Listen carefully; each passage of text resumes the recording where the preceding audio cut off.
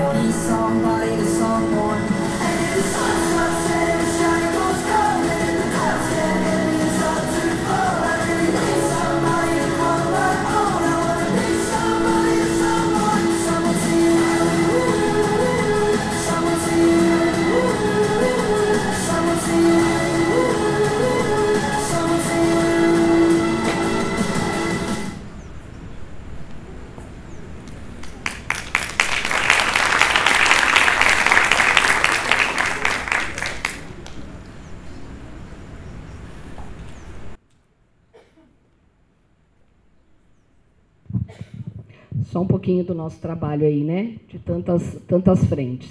Bom, vamos lá. Quero convidar para subir ao palco, então, a nossa secretária municipal de Educação, Ângela Duarte.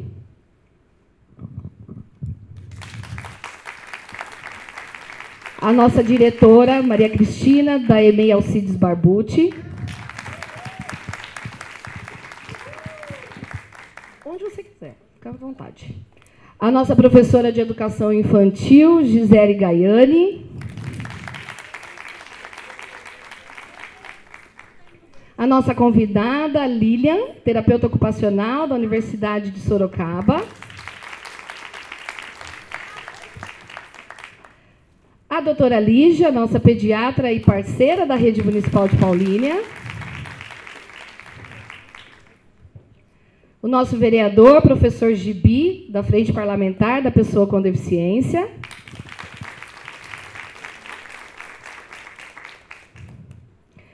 E como mediadores dessa conversa, eu quero convidar a professora de Educação Especial Larissa Soares. e a nossa querida Mari Zulian.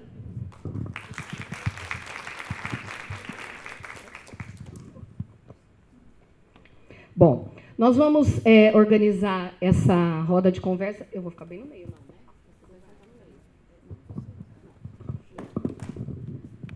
Nós vamos organizar essa roda de conversa. Muito obrigada, Mari, por ter sentado bem no meio. É, de modo que a gente possa realizar um bate-papo.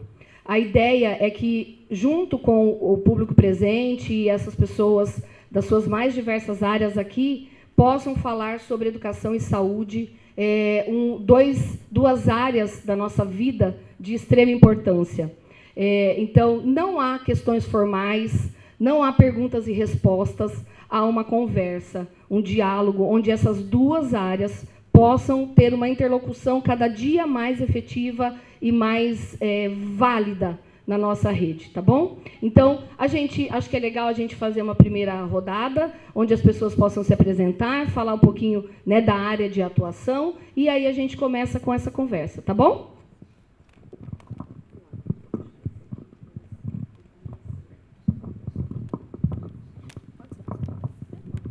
Bom dia, eu sou Larissa, professora de Educação Especial aqui no município de Paulínia desde 2018.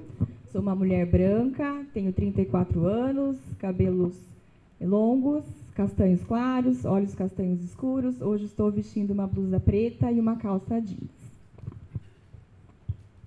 Bom dia, sou Gisele, professora de Educação Infantil, creche. Sou uma mulher alta, clara, cabelos na altura do ouvido, é, da orelha, né?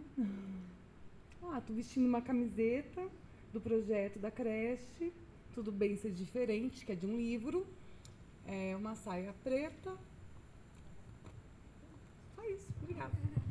Qual creche? Da creche Francisca.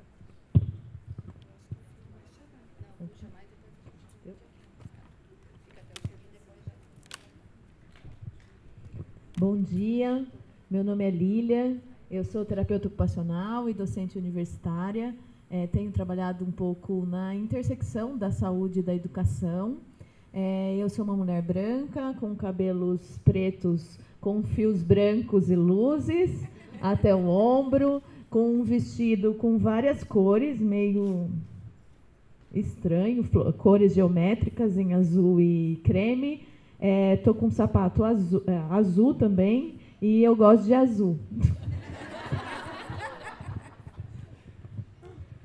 Bom dia a todos. Eu sou o Gibi Professor, vereador aqui na cidade de Paulínia. E estou vestindo uma camisa preta, sou negro, sou careca, é, calça jeans e um sapato preto. Sou presidente da Frente Parlamentar em Defesa dos Direitos da Pessoa com Deficiência e Doenças Raras na Câmara Municipal. Tenho uma pós em Educação Física Adaptada. Trabalho bastante com pessoas com deficiência. E em 2019 estive no Peru com um atleta aqui de Paulínia que foi campeão para pan-americano.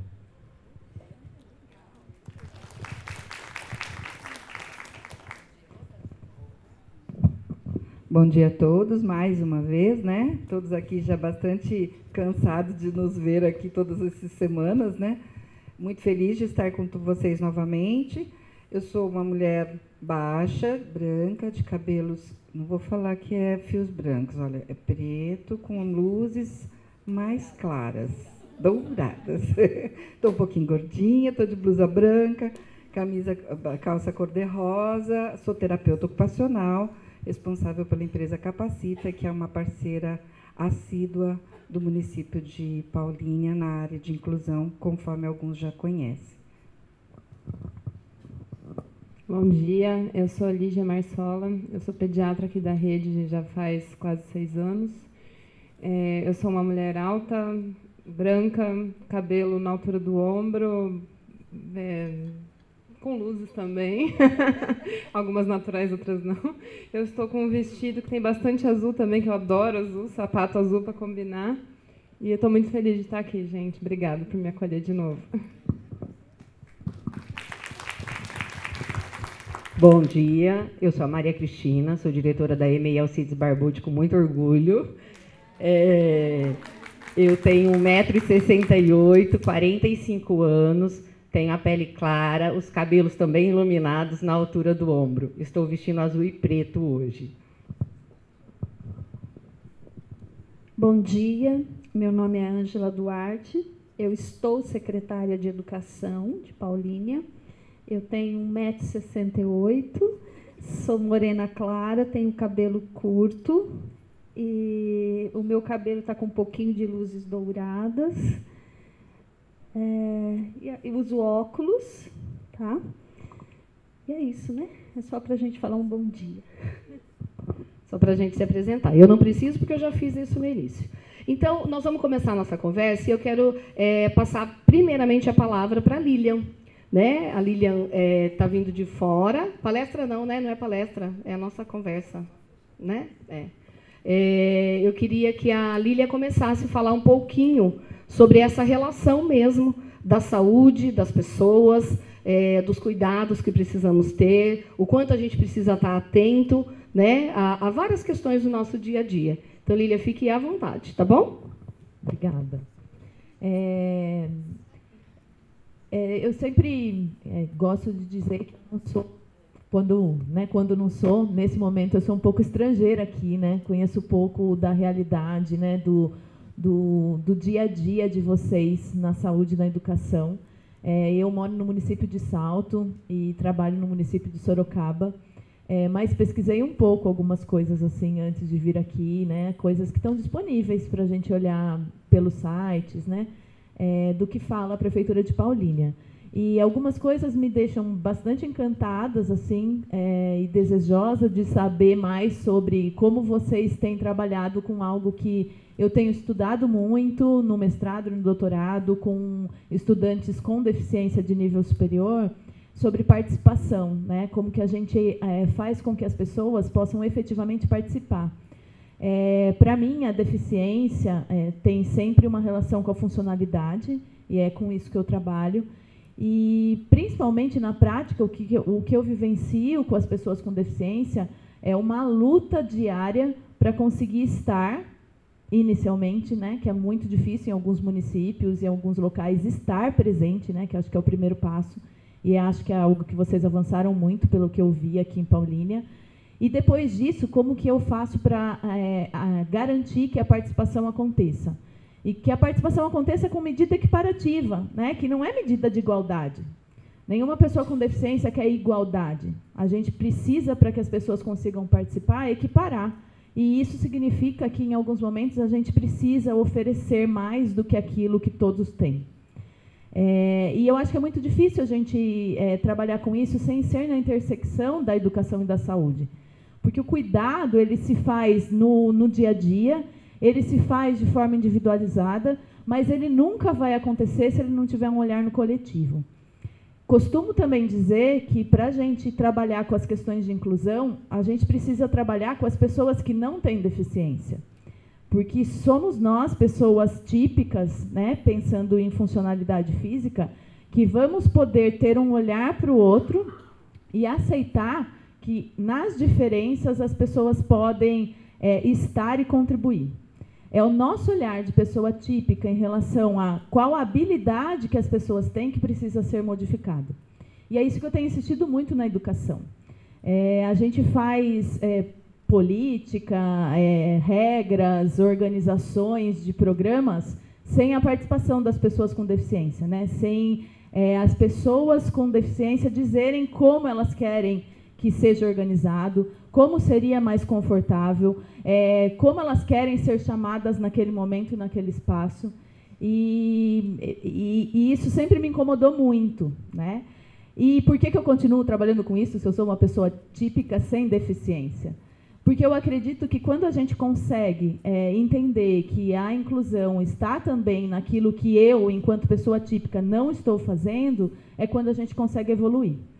É, eu não vou estender muito minha fala aqui, porque eu queria que a gente conseguisse conversar e eu conseguisse também é, contribuir um pouco, mas é, a primeira coisa que eu queria dizer é que a funcionalidade só vai acontecer se a gente conseguir ir do coletivo para o individual sem desprezar aquilo que é individual, sem desprezar as pessoas que estão diretamente ligadas às pessoas com deficiência, incluindo as suas famílias. Né? Que muitas vezes a gente é, entende que pode ser algo que ai, quer individualidades, né? E eu digo, é, sim, é isso. Quem sabe da individualidade é quem está junto. E eu preciso estar com quem está junto se eu quiser me aproximar. É, e acho que é isso. O, o, desafio é nós, que não somos pessoas com deficiência, entender qual que é o nosso papel. E que não é ajudar, não é favorecer, mas é simplesmente a gente conseguir ter um outro olhar de como a gente vai favorecer que as pessoas possam participar com aquilo que elas têm de habilidade. Que a gente consiga olhar para além daquilo que é visto. É, que a gente consiga ouvir e querer ouvir a habilidade do outro. Então, acho que começa assim. Tá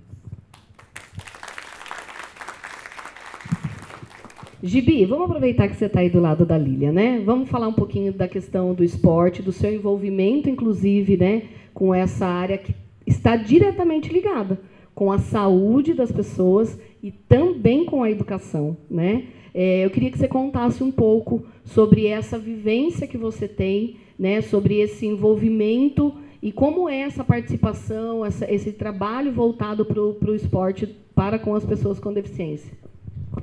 Sim, vamos lá, né, Cris? Vamos lá. Vamos fazer esse, esse bate-papo aqui, essa conversa, que já agradeço, né, você pelo convite de estar aqui. Tenho certeza absoluta que eu venho aqui mais para aprender do que passar um pouquinho da minha experiência, né? Minha experiência como professor de educação física com pessoas com deficiência é o seguinte, já trabalhei é, na PAI, para as pessoas não saibam, né? É, eu sou uma pessoa assim, que eu gosto de incluir essas pessoas com deficiência no esporte, que eu acho que para eles é muito importante, porque normalmente, bem antigamente, as pessoas com deficiência ela ficava em casa, normalmente, principalmente a família, ela não gostava de, de expor é, a pessoa com deficiência. E aí, o que, que acontece? Eu falo para todas as pessoas, vou em festa, em qualquer lugar que eu vou, encontro uma pessoa com deficiência, eu procuro me aproximar dela e convidar para ir fazer esporte. O que, que nós temos hoje de esporte em Paulínia que pode incluir essas pessoas com deficiência? Na minha opinião, qualquer esporte. Por que qualquer esporte? Porque as pessoas têm que vivenciar o esporte. Tem que vivenciar, por exemplo, é, como eu falei, né? Eu já tive na, na, no Parapan em 2019 no Peru e a gente sabe que para adaptar tem vários, vários esportes e depende de quem? Depende do professor. Então é, é convidar as pessoas para poder fazer atividade física. Hoje, principalmente, a gente tem em Paulínia o atletismo, que é um carro-chefe, para poder estar tá incluindo as pessoas com deficiência. É, às vezes as pessoas acham que o atletismo ele é só só para correr. Mas e aí a pessoa que é deficiente, por exemplo, de membro inferior? Gibi, o que, que ela pode fazer?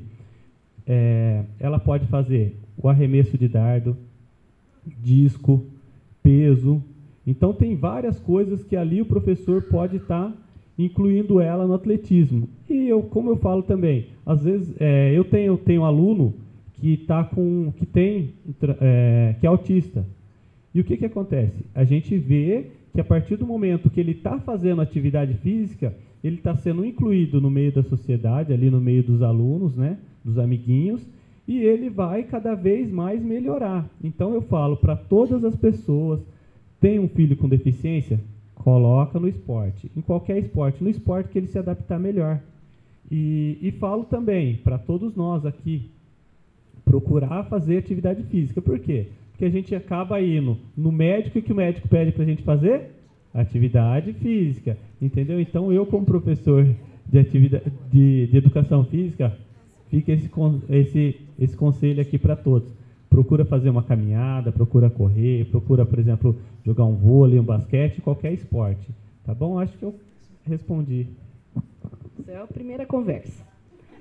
Doutora Lígia, né, vamos seguir. Eu, eu passo esse aqui, Mari, porque acho que fica mais próximo. É. é. vamos falar um pouquinho das crianças pequenas, né, da atenção básica, é, da importância desse cuidar dessa saúde aí, tá bom? Bom dia, gente. É, eu sou pediatra, então, da atenção básica, eu trabalho no, no Centro 1, na UBS aqui em Paulínia. Já trabalhei em várias outras, então eu conheço um pouquinho da realidade para lá da ponte, para cada ponte, né? enfim.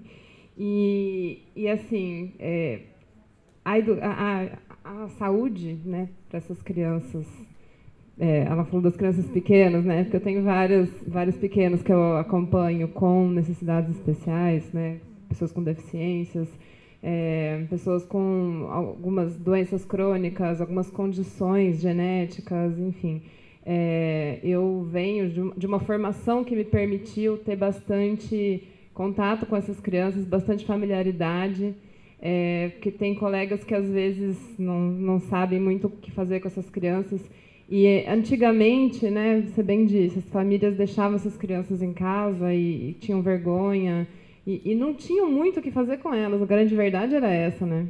E hoje em dia a gente tem cada vez mais famílias interessadas em dar para essas crianças a mesma coisa que elas dão para os outros filhos que não têm nenhuma é, necessidade especial, né? Então, assim, é, hoje a gente tem que olhar para essas crianças diferentes, tem que ajudar elas a conseguir isso que elas querem, porque se a gente tá, se eu estou dizendo aqui que tem várias condições de saúde que fazem com que sejam né, diferentes, que elas tenham que ter necessidades é, atendidas de maneiras diferentes. É, então, assim, eu vou precisar realmente que os profissionais de saúde olhem, olhem para isso para ajudar, porque e aí, qual é a adaptação que essa criança vai precisar? Então, para fulaninha para a escola, o que, que ela precisa? O que, que você acha que seria né, para ela ter segurança lá, é, para ela poder é, desenvolver as atividades da melhor maneira possível? Né? Então, assim, esse trabalho conjunto vai ser muito necessário, espero que seja cada vez mais. É, hoje eu vejo muito assim, as famílias que têm muita garra e vontade de fazer isso pelas crianças, é, elas lutam, vão atrás e elas estão conseguindo, né, de uma forma ou outra, elas estão conseguindo colocar essas crianças na escola, no esporte, né? Mas eu me preocupo também com aquelas que têm famílias que não são tão boas assim, né? Porque a gente sabe que a condição social envolvida muitas vezes limita isso. É, assim, trocando em miúdos, tem algumas que nem vão, né, pro, não, nem procuram o posto, não, não fazem isso. E a gente tem que ter esse olhar de busca ativa também, eu falo como posto de saúde, né? E questionar isso. E aí? Está indo para a escola? Qual é a escola? Como que tá? Tá, tá legal? Não tá? As necessidades estão sendo vistas da maneira que precisam ser vistas, né? E então assim, a gente precisa ter esse olhar. E poxa, eu ouvi, infelizmente já ouvi várias vezes, nossa, mas para que essa criança ir para a escola? O que ela vai aprender? Qual é a capacidade que ela tem de entender alguma coisa? E, e, eu não penso dessa forma, assim. Eu vejo todas as crianças que, que eu vejo assim, mesmo com muitas dificuldades, com atraso cognitivo, muitas vezes, que vão para a escola, nossa, mas muda demais tudo, o comportamento delas, da família e das crianças em volta. Imagina que coisa rica, né, para quem é típico, né, aqui. Teria sido você ter um colega desse jeito. Eu fiquei, fico pensando muito nisso, porque eu não tinha na minha escola, não tinha. Né? Então, assim, fico imaginando como teria sido rico esse aprendizado. Né? O dia que eu vi, é, é, assim, me emociona de verdade, no dia que eu vi um vídeo da festa junina da minha pacientinha lá, dançando na cadeira de rodas, coleguinhas fazendo ela dançar ali, gente, aquilo foi tão lindo, sabe? E, e me, me, me, ajudou a ajudar outras mães, por exemplo, de mães não tão é, positivas como essa, né, que estava lá se lamentando, ah, porque eu queria tanto que a minha filha andasse, e ela depende de uma cadeira de rodas, e ninguém olha para ela. E eu falei, não, mas espera aí, olha, deixa eu te mostrar um vídeo. Você vai ver, assim, como as crianças acolhem as outras, assim, sabe? E, e foi bem legal, assim, essa mãe começou a ver as coisas um pouco diferentes. E eu espero que ela consiga melhorar também a vida dela, da filha dela na escola, né? Então, estou aqui, gente, disponível para que vocês precisarem dessa parte aí da saúde, tá bom?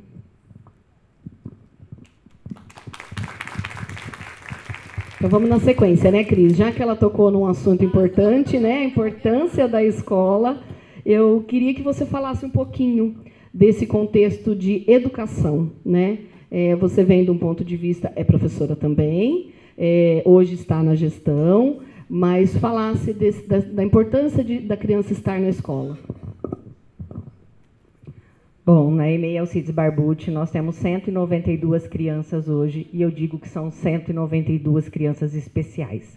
Cada uma tem a sua especificidade. Cá, temos algumas que precisam do atendimento especializado, mas todas elas são especiais. Tá? Nós trabalhamos lá no dia a dia procurando é, atender as necessidades de cada criança, olhando para cada uma e para todas. A criança que a Lígia citou é lá da Alcides Barbucci. É o nosso orgulho, tá? É, essa criança chegou para a escola o ano passado com a, a educação domiciliar ainda. A mãe dela esteve aqui na roda de conversa, né? A criança é a Tiffany.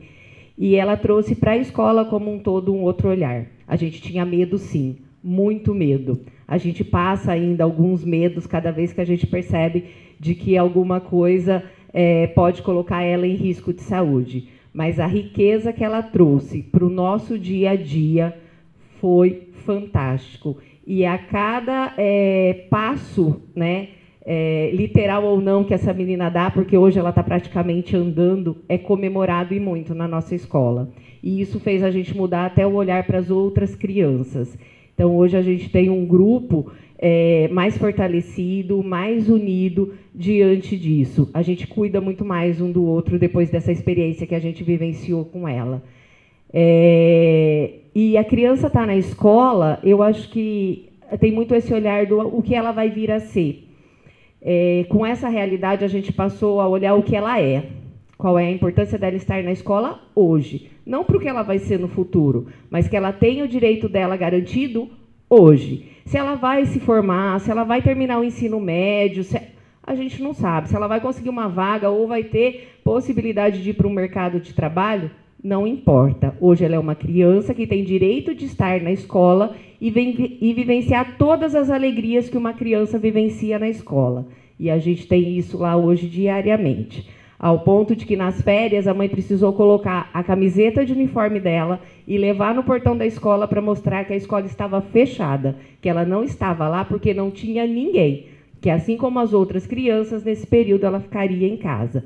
E isso acontece com a Isis, isso acontece com o Theo, nós estamos com a Esther agora, com a Tawane, né, e, e, e todos os outros lá. É, e a, a importância que a gente tem também de acolher as famílias, tá? Nessa faixa etária, nós estamos agora com as crianças praticamente que viveram a primeiríssima infância na pandemia. Então, são crianças que não foram para a escola ainda. E as mães dessas crianças especiais, é, elas têm uma insegurança muito grande por questão de saúde, por medo de bullying, de rejeição e tudo mais. Então, a gente tem um trabalho também de acolhida a essas famílias para que elas acreditem na escola, para que elas possam confiar no nosso trabalho e aí a gente tem crianças hoje de educação especial que entra no ônibus sozinha e vai para a escola dando tchauzinho, né? E assim sem o medo daquilo lá e a confiança que as famílias têm, essa entrega realmente que eles fizeram para a gente. Isso é muito, muito gratificante. Não estou dizendo aqui que a gente não tem desafios, que a gente não tem ainda algo a evoluir, que a gente ainda não não possa e, e precise melhorar muito, mas que com certeza é, o pouquinho que a gente tem conseguido fazer já tem feito diferença na vida dessas crianças e dessas famílias, e muito mais nas nossas. A gente muito mais aprende do que ensina. Obrigada, Cris. Gi, vamos lá? Vamos falar um pouquinho dessa, dessa visão né, de dentro da sala de aula. A Cris traz uma visão como um todo, né, olhando para uma escola de um modo geral, e você tem a visão da particularidade né, da sala de aula. Então, conta para nós um pouquinho como é isso no dia a dia. Ela até respirou. Respirei, né? É ansiedade, né? É a primeira vez que eu sou chamada. Gente, gratidão por estar aqui, gratidão porque eu me sinto incluída dentre tantas professoras, dentre tantas pessoas da educação, num momento tão crucial para mim, porque há 24 anos eu atuo aqui e eu ainda não sou reconhecida como professora. Mas acontecerá em algum momento, né? A gente luta e vamos lá. Atua 24 anos em Paulínia. Eu estava aqui quando as luzes de Paulínia foram acesas. E então a creche há 24 anos, ela vem passando por uma, por uma transformação. É, é indissociável o brincar, o cuidar e o educar. São três itens que a gente atua na creche, isso aí não tem como, sabe? Ai, minha voz é alta pra caramba, todo mundo vai escutar. E aí, é, isso valida o meu trabalho quanto professora. Né? O meu trabalho quanto professora é esse: é o cuidar, é o educar e é o brincar. Então eu, eu falo, meu trabalho é brincar, não é brincadeira. Então, pensando nisso, é, nós temos as crianças que chegam para nós com deficiência, elas são PCD, né? pessoas com deficiência. E elas são iguais às outras crianças, com todas as suas particularidades. E elas têm que ser observadas e cuidadas e amadas e validadas como as, as demais também. E é, a minha formação se deu na sala de aula, lá na faculdade ou no magistério. A minha formação se dá dia a dia, eu ainda não me formei. Então eu estou mais sentada e aprendendo com eles do que eles comigo. As crianças, elas nos ensinam dia a dia e as crianças com necessidades especiais, PCD, com deficiência, elas nos, nos formam, nos graduam nas suas particularidades, porque assim, gente, a escola nunca vai estar preparada para receber uma criança com deficiência. A, a escola ela se prepara quando a criança chega. E é nesse preparo de você olhar para aquela criança e saber que ela é um ser que sente, que precisa ser validada, que precisa ser amada, é que vai fazer toda a diferença no dia a dia meu, quanto professora, da turma, quanto social, e daquela criança que chegou cheia de, cheia de medo, cheia de receios, porque a saúde é um pouco debilitada. A mãe pensa, tem que ter uma cadeira de roda para ir para a escola. Eu vou te dizer uma coisa se a criança não chega ao chão, porque ela não pode descer da cadeira de roda, o chão tem que chegar até a criança. Então é, as crianças ao redor, a gente apoia aquela cadeira numa mesa, todos vão brincar juntos ali, e as crianças, os demais que não têm a deficiência, eles enxergam aquela criança como elas mesmas, com todas as dificuldades que elas têm. Ah, mas e fulano, o que, que tem? Não tem nada. Ele só fala enrolado, ele só não anda, ele só ainda não pega no talher, no copo, mas ele é normal. O normal é ser diferente, né? O normal é ser diferente, porque é, a gente usa muito essa questão, né? Ah, o normal. Gente, quem que é normal? Não é não? E aí, a escola, ela está se fazendo ainda. Então, por exemplo, a gente falou aqui, né? É, há muito tempo atrás, o, as pessoas com deficiência elas eram escondidas e eram mesmo, né? Era uma questão até. Ai. Era uma questão até assim religiosa, de vergonha, né? A gente tem essa, essa, esse histórico, né, na educação, na sociedade. Mas hoje em dia eu entendo assim: a pessoa com deficiência, o aluno, a criança, ela tem direito à escola. Ela não tem necessidade da escola. Quem tem necessidade deles na escola é a escola. A escola necessita deles. Então, por que, que eu falo isso? Porque eles vão se desenvolver numa igreja, eles vão se desenvolver num clube, eles vão se desenvolver numa escola, é, part, né, na escola que faz outra forma de que não é o ensino regular. Mas quem precisa deles somos nós. Eu preciso daquela criança que não anda, eu preciso daquela criança que não enxerga, eu preciso daquela criança que não ouve, daquela criança que tem autismo porque é ele que vai me fazer aprender coisas que eu ainda não sei. Então, na verdade, é assim, é uma dádiva receber crianças com deficiência na escola. E a gente tem que agradecer, né? A gente tem que agradecer, porque se não for assim, como é que a gente vai evoluir quanto ser humano? Como é que a gente vai aprender a respeitar. É assim, é no dia a dia. Né? Eu acho que é isso. Faltou alguma coisa? Obrigada. Lari, quer continuar?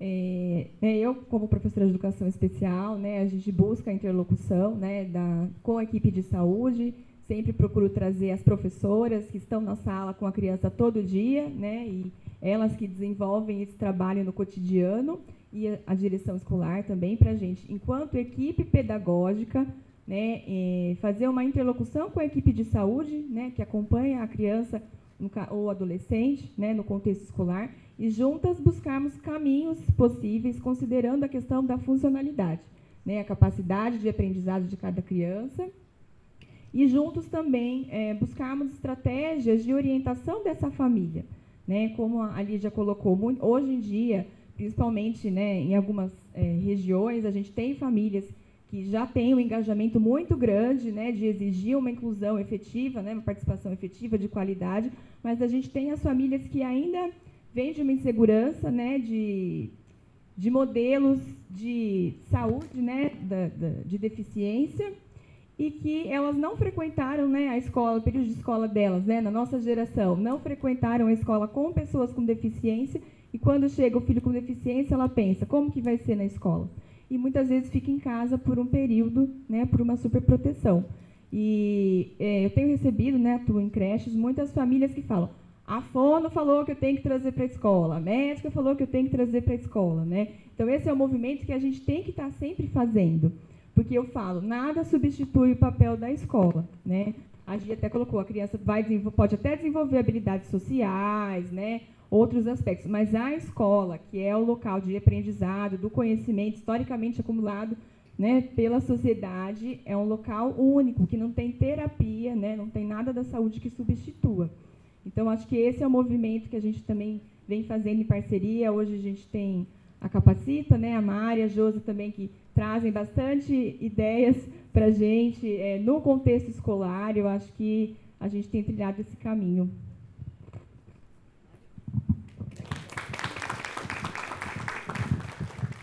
É, é uma delícia escutar vocês falando, uma delícia ouvi-los, é, porque a gente já vê o, as experiências sendo vividas e acrescentando na vida de cada um de nós, né?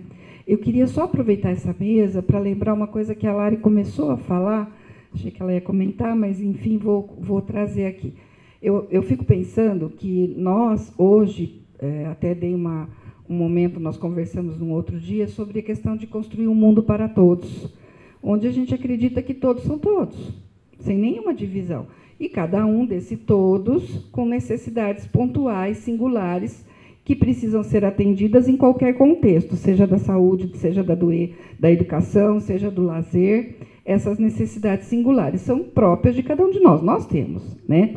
Uma coisa que eu acho que é, nesse contexto, muito importante de lembrar é que a saúde e a educação, elas têm que andar muito próximas, muito próximas, para que eu possa ter um bom aproveitamento acadêmico, uma boa participação social ou, ou escolar, uh, no, no nível de aprendizagem acadêmica, eu preciso ter condições funcionais para que durante a atividade eu tire proveito disso. Né? Quando a, a Maria Cristina fala da Tiffany, que para nós é um orgulho, porque ela tem uma síndrome bastante rara, que deu medo, né? E aí? Porque tem risco de vida para ela. Né? Até então a gente pensa nas adequações para ela atender, poder participar das atividades. E quando ela corre risco? Será que a gente está pronto? Né? E, de repente, a criatura uh, deu um, um, baile, né? deu um show na gente, porque ah, ela não vai sair da cadeira. A bichinha está quase andando. E foi porque foi pegar a bola, porque foi bater no colega que pegou as coisas dela, porque foi subir no, no, no, na escadinha do, do, do, E os professores, será que eu posso deixar? Né? E é exatamente isso. Cada vez que eu recebo vídeos dos professores com os feedbacks do como as crianças estão se desenvolvendo, alguém aí já disse assim, a Mari só sabe chorar. Porque eu choro mesmo, que eu fico muito maravilhada de ver que nós estamos caminhando. Né? Mas, para melhorar esse caminho, no meu entendimento, cada vez mais a saúde e a educação têm que estar caminhando junto, porque às vezes na escola é, a gente pede ajuda, mas a gente sabe que a escola não é lugar de clínica. Então, a ajuda que a gente pede não é de fazer atendimento clínico na escola, mas é do profissional da saúde que tem conhecimentos peculiares e que precisa estar sensível a esse território que não é o território clínico, de que modo ele pode melhorar a funcionalidade com adaptações, com orientações, com ajustes. E as crianças precisam poder contar com a saúde para poder serem melhores, adequadas, receberem medicamentos certos, receberem prescrições de recursos que possam vir a atender, melhorar a funcionalidade então, a conversa entre a educação e a saúde não pode nunca deixar de existir. Né? A gente cansa de ouvir os pais assim, ah, porque são os pais que fazem essa jornada, né? Que vão lá na educação, aí pega um relatório, vai lá na saúde, marca a consulta, depois vai lá. Pra...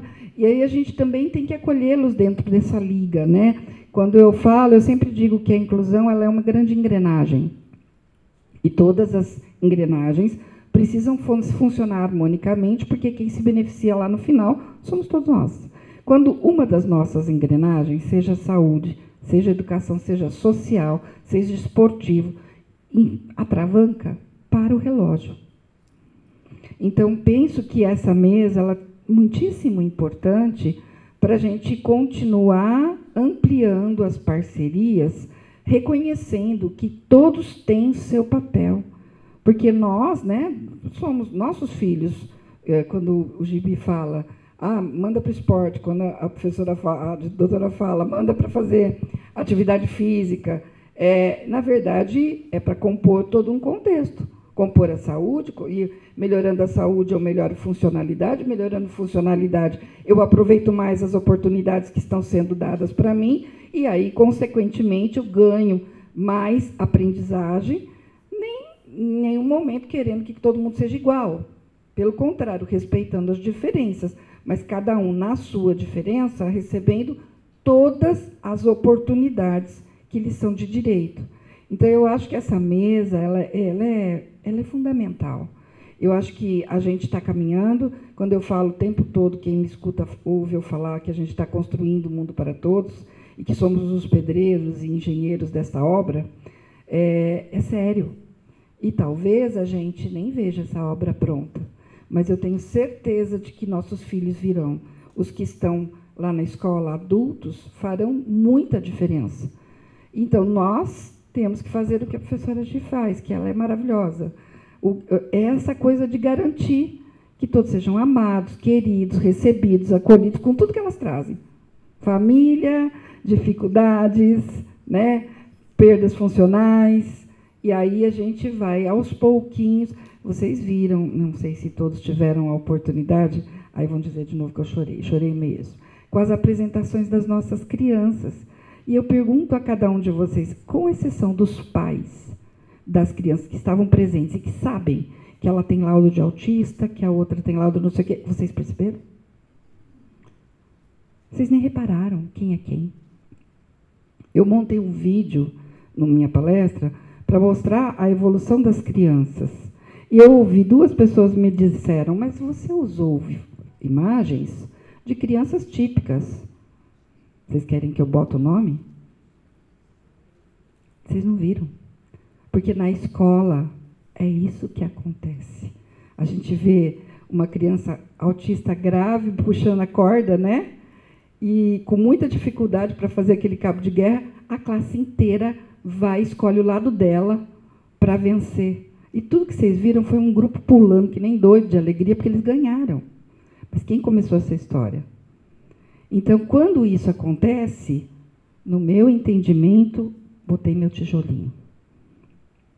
Porque é isso que a gente quer, né? E a saúde, a educação, o esporte, o social, tem que andar junto, porque nós somos seres humanos completos, todos somos. E a gente tem todas essas etapas para poder ser completo, tá?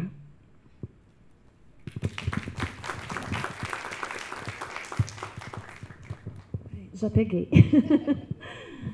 é, eu vivenciei os dois lados, né?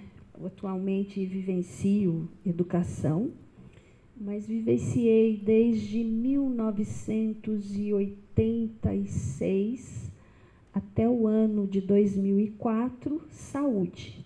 Eu sou técnica de enfermagem também, com muito orgulho acredito que um trabalho educacional voltado para as crianças atípicas não anda sem a saúde e vice-versa. É, a minha vivência dos dois lados, ela nunca fez tanto sentido como ela faz hoje. Porque quando você está trabalhando na saúde, dentro de um hospital, no atendimento de porta, pronto-socorro, numa UTI, como eu sempre trabalhei em emergência, nós recebemos pacientes, né? Nós cuidamos de vidas, vidas. As vidas são vidas, não, não importa para a gente o estado físico daquela vida, é uma vida. No entanto, nós temos muitas dificuldades porque a gente tem as deficiências que não são visíveis. O TEA, por exemplo, né, que não é visível, e entre outras doenças raras que não são visíveis. Inclusive, ontem eu recebi um vídeo que a Cris me mandou e eu achei muito interessante, porque é uma mulher com uma doença de Crohn, né? uma doença de Crohn, que é intestino, e, e com isso ela ficou deficiente devido a várias cirurgias. E ela disse assim: que o que fazer quando a sua deficiência não é visível e quando as pessoas não enxergam aquilo de bom que você já conquistou dentro da sua deficiência e que ninguém fala. E que o sonho dela, eu acho que é o sonho da maioria das pessoas que convivem com outros seres humanos, que é o sonho de que não precisa existir ah, o dia da luta da inclusão, porque se essa luta existe, é sinal que ainda é exclusão. Né? Se nós todos sonhamos que ser diferente é normal, que essa diferença realmente seja normal na prática. E o olhar identificador da educação, que começa na primeira infância, que a maioria das crianças passam lá dos quatro meses em diante, que o professor, né, toda a comunidade escolar, ela identifica e manda para a saúde é, é, a gente tem um impasse muito grande com a saúde, porque eu também já estive lá, da gente saber como lidar com isso. É, eu, enquanto estar secretária, a Cris, muitas vezes, sábado, domingo, feriados, a gente recebe as ligações das mães, dos pais, desesperados, porque eles chegam num atendimento, por exemplo, com uma criança com teia no pronto-socorro e a criança não quer descer do carro mas a criança está com dor, a criança está doente e não consegue identificar, ela não consegue verbalizar onde está doendo e esse profissional ele não sai da sala do seu consultório para ir atender esta criança. Né? Isso a gente vivencia, as mães que estão aqui sabem disso. É uma grande dificuldade, por quê? Porque o profissional da saúde também, ele não está preparado para receber. Ele não consegue fazer, ele não tem essa percepção. Porque, como a professora disse, nós aprendemos todos os dias. E as faculdades, elas são metódicas. Elas nos preparam para formação, mas não para a prática. Né? Elas nos dão a formação teórica. E o ser humano, cada um é cada um, é único. Não vem com rótulo, né? Não é assim quando a gente tem um bebê, a hora que ele nasce, a gente se vira em aprender a cuidar. Porque a gente não sabe, não tem um manual de instrução. Então o ser humano é único. E essa conversa entre saúde e educação é muito importante, porque existem as terapias, existem os lados pedagógicos. Infelizmente, a doutora sabe disso, né? existe uma, uma, uma briga muito grande de quem é, de quem é essa pessoa, né? de quem é essa deficiência. A pessoa, ela acaba, a deficiência acaba sobressaindo a pessoa. E a pessoa mesmo fica esquecida, que foi outra fala da TO, de que é muito importante ouvir esse deficiente. É sim, muito importante. Mas e aquele deficiente que não sabe dizer? De nenhuma forma, né?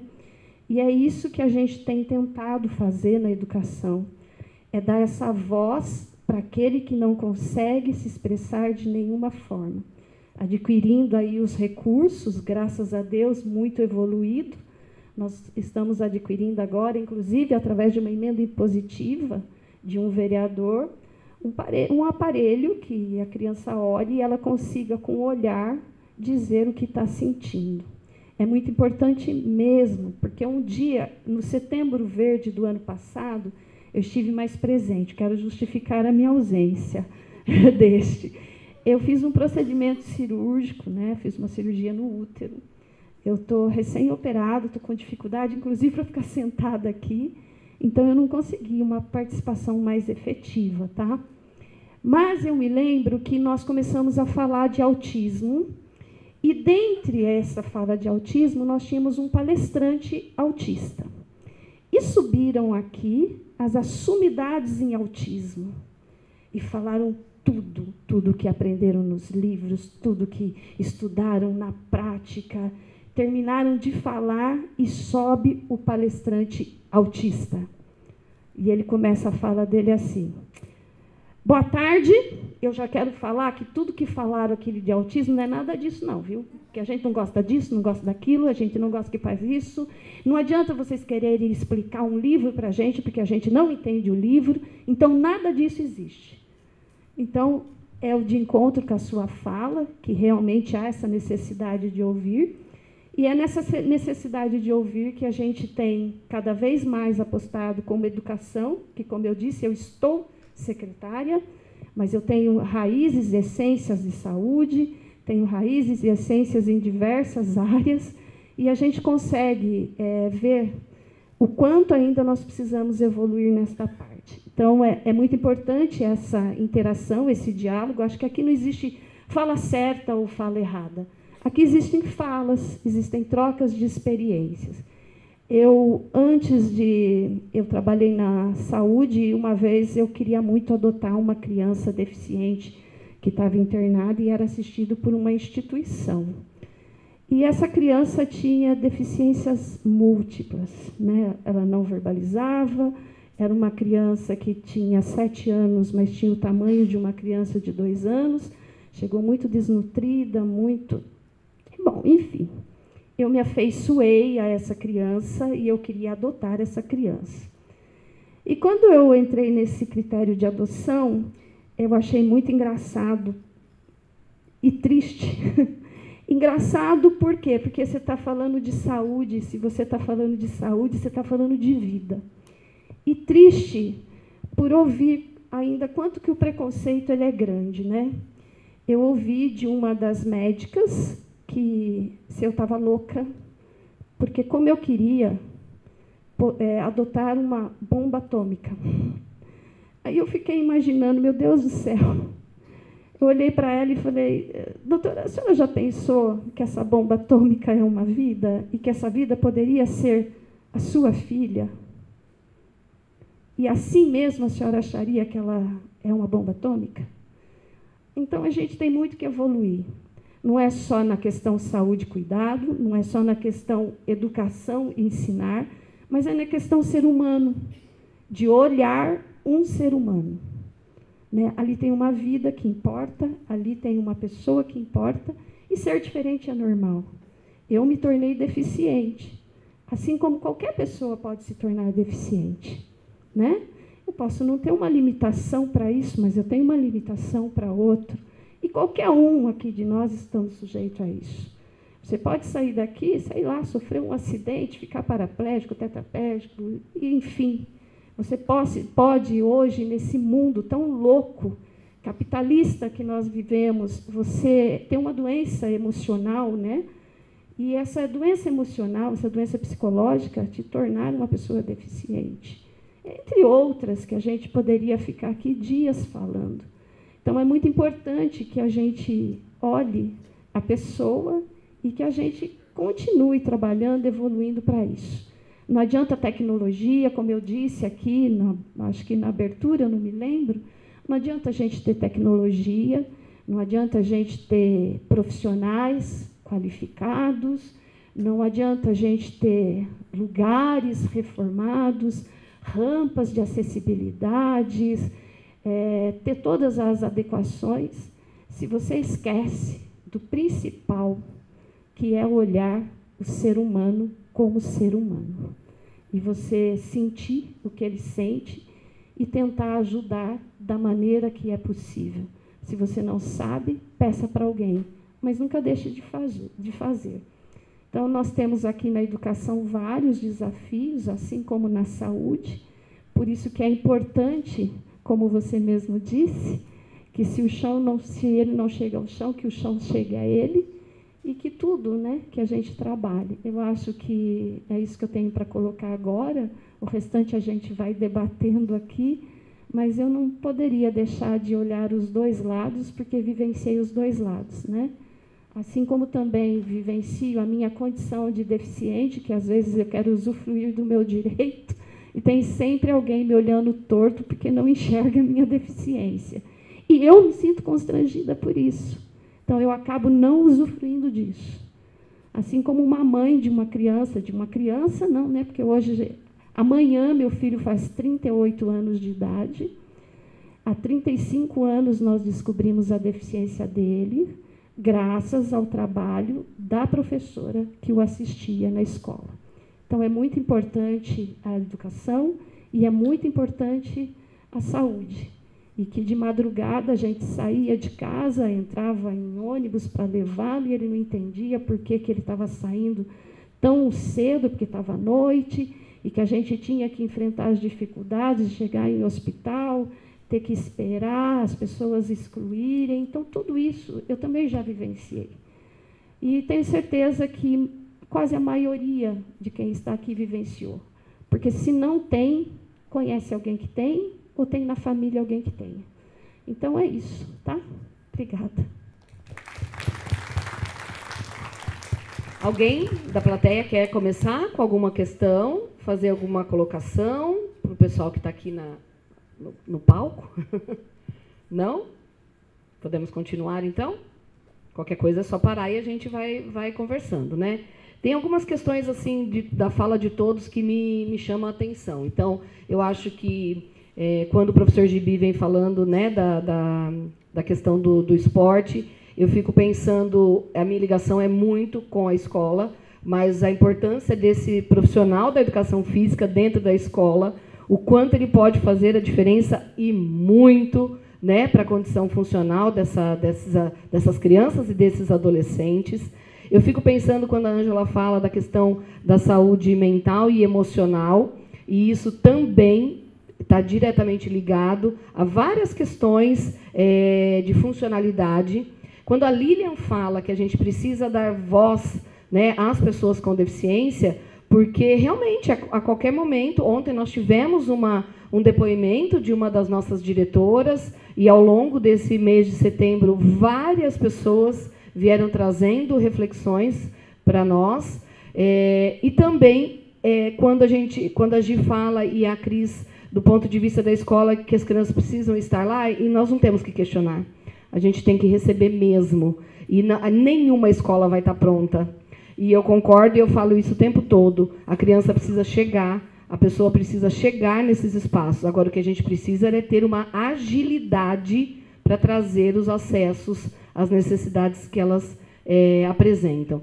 Então, eu acho que a conversa e a fala, é, a parte, é, quando a Angela fala né, da aquisição de recursos de tecnologia, essa, essa parceria com, com o poder público, com o poder legislativo, ela é muito importante. A Mari falou no encontro dela, assim como a Natália também, é, que a inclusão ela não está garantida. Por mais que tenhamos várias leis, ela não está garantida. Então, a gente precisa mesmo que cada um aqui, representando é, uma grande parcela né, da, da, da, população, faça realmente a sua, a sua diferença. É, e eu queria que a gente pudesse conversar um pouco sobre isso, porque a, a como que eu posso dizer, né? É, todos nós estamos sujeitos. E o que é que nós podemos fazer no nosso dia a dia, né, no nosso contexto de vida pessoal, de vida social, de vida profissional, para que a gente possa realmente ter é, uma qualidade, mas também ter um olhar para o que pode acontecer, o que pode nos acometer. A gente tem sempre que ficar pensando nisso, sim. Né? É, porque eu acho que é a partir daí que a gente também consegue ter ações para poder mudar um pouco mais. Então, eu quero abrir agora para qualquer um aqui que esteja nessa roda, para que a gente possa trazer outras reflexões para o pessoal que está aqui também. Então, não vou chamar ninguém. Eu acho que agora é a hora de cada um falar, não, eu quero falar mais uma coisa. Tá bom? Então, tá, tá disponível aqui. Quem que vai? A Mari. Eu só queria pegar um gancho, porque eu sei que a, a, a Lilian tem muito para dizer nesse sentido, é que a gente também não pode esquecer que nós aqui da escola, na maioria das vezes, voltamos o nosso olhar para as crianças. Né? Ontem nós tivemos uma mesa sobre mercado de trabalho onde não haviam crianças. Eram adultos com deficiência das mais diversificadas. Não sei quem está aqui hoje que teve possibilidade de estar ontem. E todos contaram suas histórias antes da legislação sobre inclusão. Então, hoje são pessoas incluídas no mercado de trabalho, com históricos. A Deise, que deu a palestra, inclusive, já é aposentada, né? É, e, e viveram essas conquistas a partir de lutas pessoais e familiares. O que nós queremos é inverter isso, né? Que essa luta seja de todos. E aí eu pergunto, eu queria perguntar para a Lilian, é, já que era para começar, né? Eu vou perguntar para a Lilian, porque uma questão que a gente esquece, não é só é, hoje eu posso atravessar a rua e eu vou é, me tornar uma pessoa deficiente porque eu fui atropelada. Hoje eu já passei dos 60, passei bastante até. E eu já estou sentindo perdas funcionais que eu ouvia e que parecia tão distante. E hoje, quando eu estou na minha casa, meu filho me chama na sala e eu ignoro, porque eu não ouvi. Ele fala: Mãe de Deus, você tem que ir no, em algum lugar porque você não está escutando. E eu fico brava. E falo: Fala mais alto, vem até aqui falar para mim. Mas é verdade. Eu já não estou escutando mais como eu escutava. O simples fato da gente envelhecer traz perdas funcionais né? E estamos envelhecendo mais porque a saúde melhorou. Então a gente chega a mais idade. Então a gente tem mais perdas funcionais conforme a gente envelhece. E o trabalho nosso hoje, ele está alucinante, né? E as vagas de trabalho, os tipos de trabalho, também tem uma possibilidade imensa de criar novas deficiências, das mais diversas, né? Saúde mental, motora, funcional. E eu queria perguntar para você, Lília, Será que dá para a gente propor alguma coisa no sentido de ajudar que isso aconteça mais lentamente ou não aconteça? O envelhecimento não dá, Mari, vai chegar para todos. É, eu acho que, na verdade, o que dá para a gente pensar na relação do cuidado é como que eu posso cuidar é, de mim mesmo, né? E para isso, eu acho que a terapia ocupacional, que é especialista em ocupações humanas, mas que a gente fala pouco disso, né? É, pode ajudar no sentido de quais são as atenções que eu preciso ter para mim mesmo, que eu chamo de alguns eixos que a gente devia pensar na vida, para que a gente consiga ter uma vida um, com um pouco mais de qualidade e o que as pessoas conhecem como um pouco mais de equilíbrio, né? É, esses seis eixos que eu vou falar é o que eu acho que, que seria importante que a gente pensasse é, para uma vida mais é, efetiva, eu digo, né? Porque às vezes a gente vai sobrevivendo e sobra pouco de vida, né? Para aquilo que, que a gente conhece no sentido mais filosófico aí da palavra. Então, eu acho que a primeira coisa é entender que o primeiro eixo central na nossa vida está dentro das relações. E as relações que a gente tem, elas precisam ser o máximo estendidas possíveis. Quantas vezes a gente tem relações, relacionamentos só dentro da família e dentro do trabalho? E aí, quando a gente perde esse trabalho, a gente perde mais de metade da, da nossa condição. E quantas pessoas vocês conhecem que ficam desempregadas e ficam escondidas em casa, porque tem vergonha de sair à tarde na rua e o que, que eu estou fazendo aqui desocupado? Né? Então, é, quanto mais a gente conseguir olhar para a gente mesmo e ampliar as nossas relações, isso significa encontrar outros lugares onde a gente possa ter é, novos pares e não só aqueles que são é, mais acomodados no nosso dia a dia, é essencial. Né? Então, o aumento das relações. As questões do cuidado, ela tem três subdivisões. O cuidado com a gente mesmo, o cuidado com o outro e o cuidado com as coisas. Né? A gente pode cuidar das coisas que a gente tem e pensar nas coisas que a gente quer ter. É, a gente pode e deve cuidar do outro, né? do outro que está mais próximo da gente e do outro que está mais distante quando a gente trabalha com cuidado, né? os professores, os, os profissionais da saúde. Mas a gente também tem que pensar no cuidado com a gente mesmo. E aí, nisso, é, eu acredito que o Gibi vai poder dizer o quanto que a decisão por fazer uma atividade física ela é muito íntima e muito pessoal e acontece em diferentes fases para cada um. Porque a gente não foi ensinado que isso devia fazer parte da vida. É, eu lembro, desculpa, mas eu tenho que contar um depoimento. Eu me lembro de chorar na minha infância porque eu não queria ir no horário da educação física e chorar para minha mãe ir no médico para pegar um atestado comprovando que eu não precisava fazer educação física. E por que, que minha mãe deixou fazer isso? Né? Porque, ah, porque era importante que eu não sofresse as dores que eu dizia que eu tinha na educação física, que eu não queria ficar no sol, porque era no período contrário da aula. Então, qual foi o incentivo de educação física desde pequena? Quantas vezes é, os pais estão indo com as crianças para caminhar, estão dizendo, olha, agora nós vamos aqui ó, fazer esse exercício todo dia, antes de acordar, depois de acordar, a gente precisa fazer isso. Então, o cuidado com a gente mesmo é essencial. E, na minha opinião, depois de 42 anos, né, a gente vai aprendendo, é, é, ele começa principalmente pelo cuidado com o corpo, né, com o corpo físico, na condição física que a gente tiver no momento. É, outros eixos que eu digo é a atividade laborativa, né, ela é importantíssima para a nossa vida.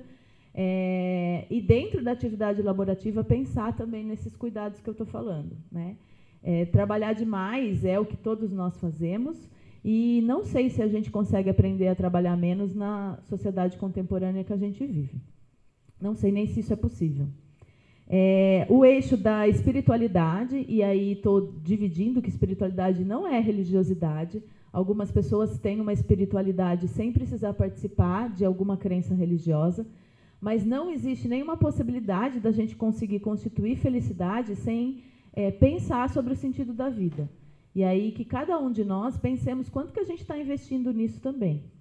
É, e outros dois eixos, que são aqueles que a gente, é, depois que a gente cresce, a gente apaga da nossa vida, que são os aspectos lúdicos. A gente não pode descartar os aspectos lúdicos da nossa vida, que quando a gente é criança a gente brinca, e quando a gente é adulto a gente faz o quê? Do que, que a gente brinca quando a gente é adulto? Né? Não dá para brincar mais de trabalhar. O trabalhar já está lá na outra ocupação. Então, todas as vezes que eu faço análise de cotidiano, análise ocupacional de alguém e de adulto, o aspecto lúdico ele quase acontece 1% na semana da pessoa. E aí ele, as pessoas dizem, não, mas eu assisto televisão. Eu falei, mas você está assistindo o que na televisão? Ah, eu estou assistindo jornal, eu estou assistindo o filme que me indicaram para eu poder trabalhar melhor, eu estou lendo o livro que me indicaram que é de autoajuda. Então, assim, mas do que, que você está brincando? Do que, que você vai escolher brincar? Então, é, isso é algo que é muito estranho quando eu faço a pergunta e, e continua estranho para a gente, mas a gente precisa pensar. E o tempo de descanso, que é diferente do tempo de, de brincar. E que é mais difícil ainda para a gente entender. Onde é que está o nosso nada? Onde que a gente para? Quando que a gente para? Eu sei que para homens é mais difícil. Homens já nascem com uma caixa do nada na cabeça que as mulheres dificilmente têm. Por exemplo, é muito difícil a gente encontrar mulheres que gostem, por exemplo, de pescar. Por quê? Porque não dá para pescar e não pensar em nada. E aí os homens dizem, claro que dá, Lilian.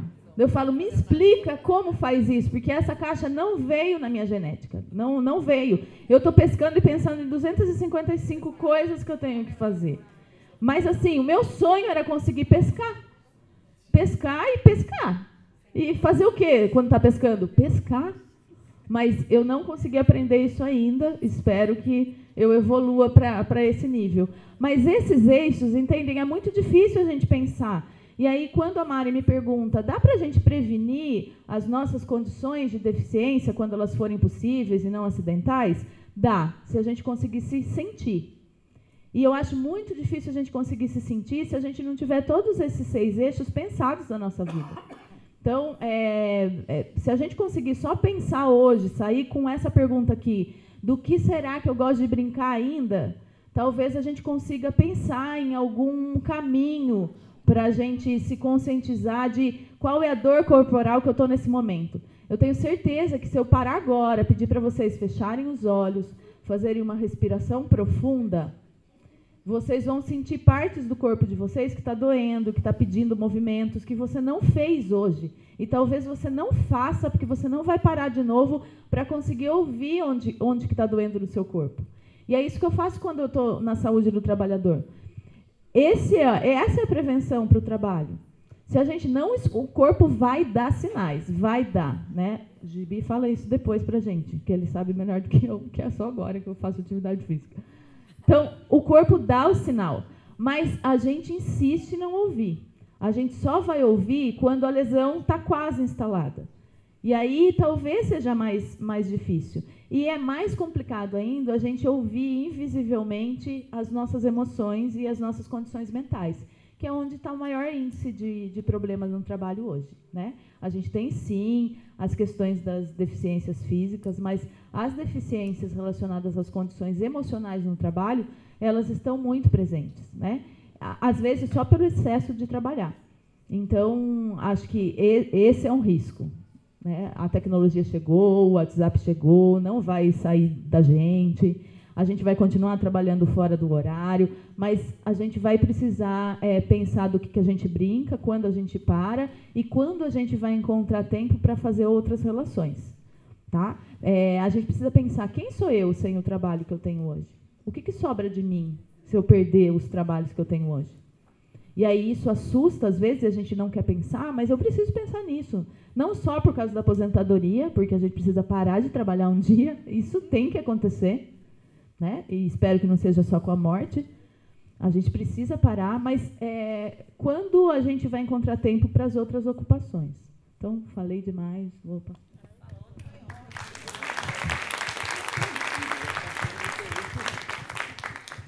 Ah, ela já passou assim diretamente para mim, mas vamos lá. Eu estou aqui na cabeça, mas daqui a pouquinho eu vou falar um pouquinho sobre atividade física. Mas eu acho que o mais importante é, que veio aqui na minha cabeça, a gente estava pensando, pensando né, na pessoa com deficiência. Normalmente vocês estão trabalhando mais com crianças né, com deficiência. E a gente tem que, tem que entender que essa criança ela vai virar adolescente, ela vai virar adulta, ela vai casar, né? E vai construir a sua família. Mas tudo isso aí depende das atitudes que nós estamos tomando hoje com a criança. Hoje, na, na, com a criança, daqui a pouco adolescente, adultos, porque normalmente elas acabam tendo, né? É, quando vira adulto, aquela imagem quando era criança, que nem você acabou de falar, é, que sua mãe pegava testado para você não fazer atividade física E hoje você vê atividade física, o quanto é importante na sua vida. Então, fica para a gente uma reflexão. O que, que nós queremos é, levar ao mundo, passar para a pessoa, para o aluno, para a criança. Tudo isso eu acredito que depende da nossa atitude. É, tem vários professores que às vezes têm a dificuldade de trabalhar com a criança com deficiência, que foi o meu caso, que tipo assim, é, na área esportiva, chegava aluno para mim na área do atletismo, cadeirante, e aí, Gibi, o que, que você vai fazer? Então, eu fui procurar aprender como lidar com atletas cadeirantes no atletismo. Aí eu fui, colocava eles para correr, né?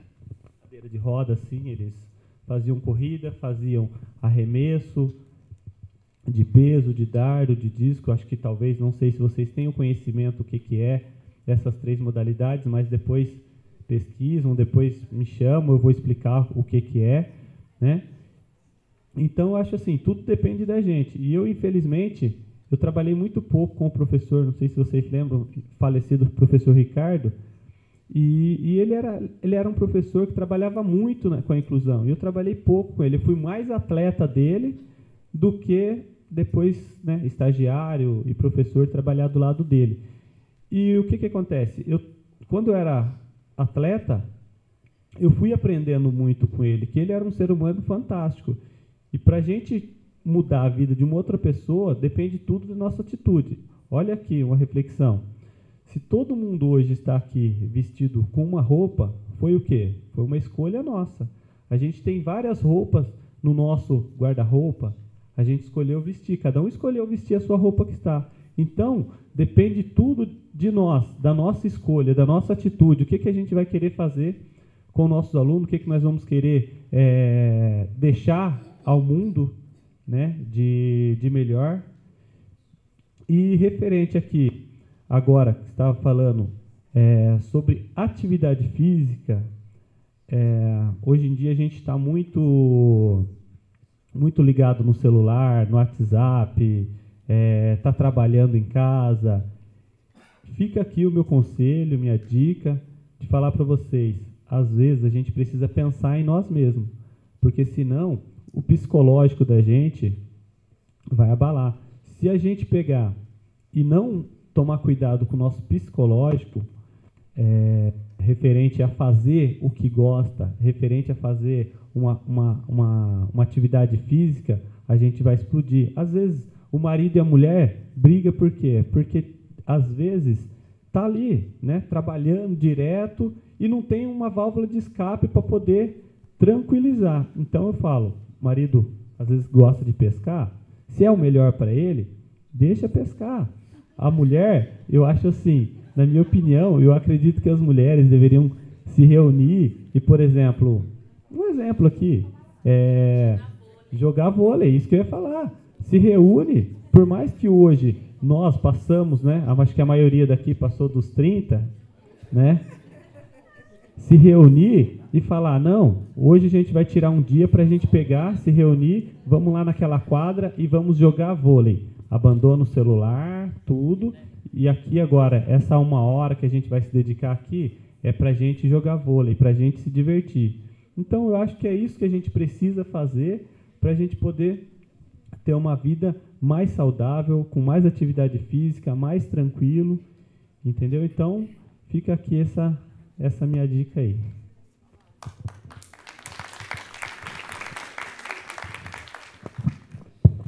É, assim, essa discussão, né, que começou ela falando, né, que ela fugia da educação física, gente, eu acho que a maioria aqui passou por isso. Eu passei por isso. Eu falava, ai, pelo amor de Deus, gente, preciso estudar vestibular, ficar indo fazer educação física, eu estou perdendo meu tempo, podia estar estudando. Mas isso vem lá de trás, gente, vem lá do comecinho. E assim, é, eu olho as minhas crianças e eu sempre pergunto: o que, está fazendo de atividade física? Ah, educação física. Tá, mas educação física é obrigatória na escola, e fora isso, né? O que, que você tem feito? E aí as crianças vão na esteira da família, na verdade, né? Porque a criança não vai sozinha, fala assim, ó, oh, tchau, vou ali na aula de futebol. Não, alguém tem que levar.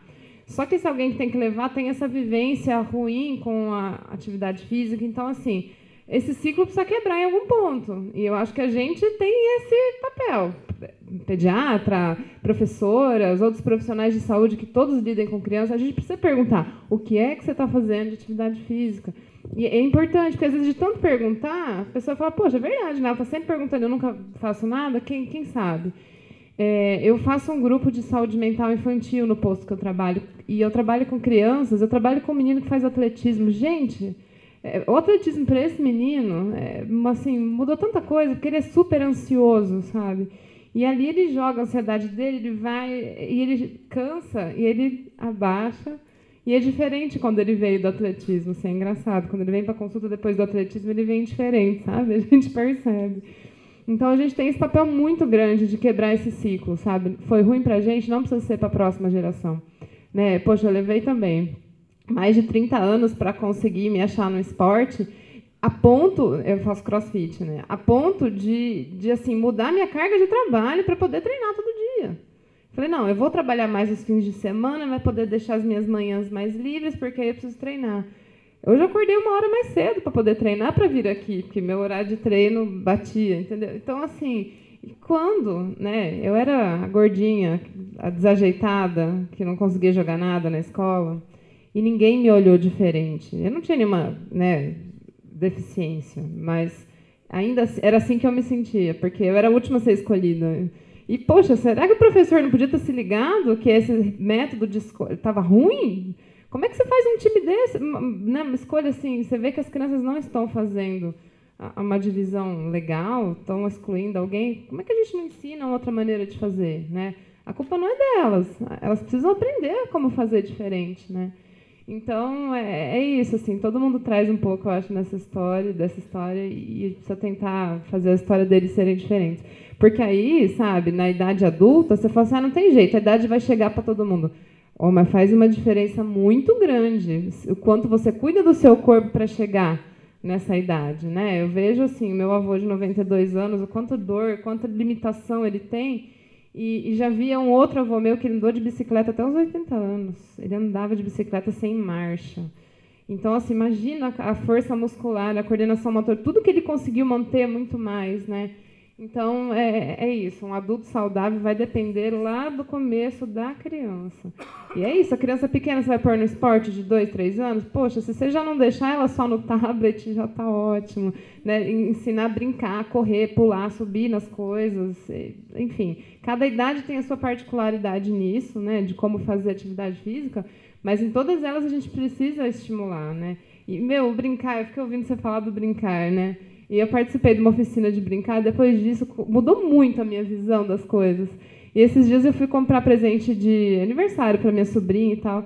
E aí eu vi, falei, gente, esse brinquedinho da minha infância, aqueles peixinhos que a gente tinha varinha, que ele ficava abrindo e fechando a boquinha você ia pescando. Eu comprei um desse. Cheguei em casa falei pro meu marido, amor, vamos brincar disso aqui.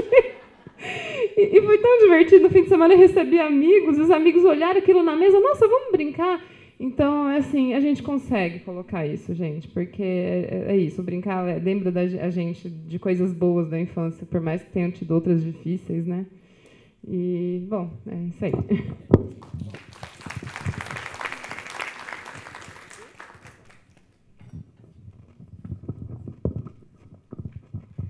É, a gente às vezes arruma muita desculpa, né? Nós vivemos assim, o mundo adulto é, é a gente se julga tão importante, né? tão sabedor. Mas a gente fica tudo no si, né? Mas se eu parar e fizer isso, mas se eu, mas se eu, a gente arruma sempre uma desculpa. É muito comum a gente, né, no, no ciclo de amizade, até mesmo no ambiente de trabalho, você ouvir a pessoa falar, mas eu não tenho tempo. Se eu parar uma hora para fazer isso, quem vai fazer aquilo? Mas o engraçado é que você nota a pessoa parada uma hora mexendo no celular.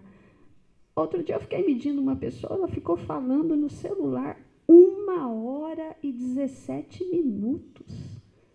E aí você fala que você não tem tempo.